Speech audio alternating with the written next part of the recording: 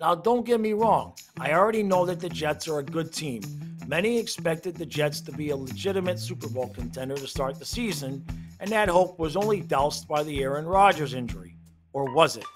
The Jets have beaten some pretty good teams while treading water and staying alive in the playoff race, even with Zach Wilson at quarterback. Rodgers has been seen without crutches and has been somewhat vocal about the possibility of being ready to go should the Jets make the playoffs.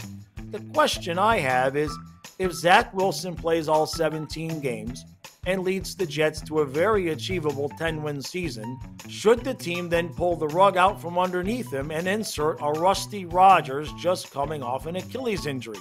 Now, before you answer that question with the hell yes, Jets fans, I have something here to give you pause. I draw your attention to the 1999 2000 NFL season and the Buffalo Bills the Bills have two quarterbacks, one in the highly unpopular Rob Johnson, and the other is fan favorite Doug Flutie. The Bills decided on Flutie to start the season, and he plays every game except week three due to an injury, with Johnson taking over and leading the team to a victory.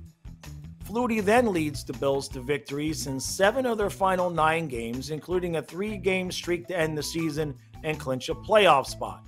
Then, just as Bills fans were catching Flutie mania, head coach Wade Phillips makes one of the most dumbfounding moves you could ever imagine as he names Johnson the starter for the team's wild card game against the Titans. Yes, that game, the Music City Miracle. With fans fuming, Johnson goes 10 for 22 for 131 yards, gets sacked six times, and fumbles three times, losing one. Now, he does lead the team on a six play, 38 yard drive that led to a field goal to put Buffalo up by one before the football gods displayed their anger and karma reared its ugly head and the Titans ran that kickoff back for a touchdown in one of the most famous plays in NFL history. Now, I know to Jets fans, it sounds crazy that the team would even consider sitting a healthy Rodgers on Wild Card weekend.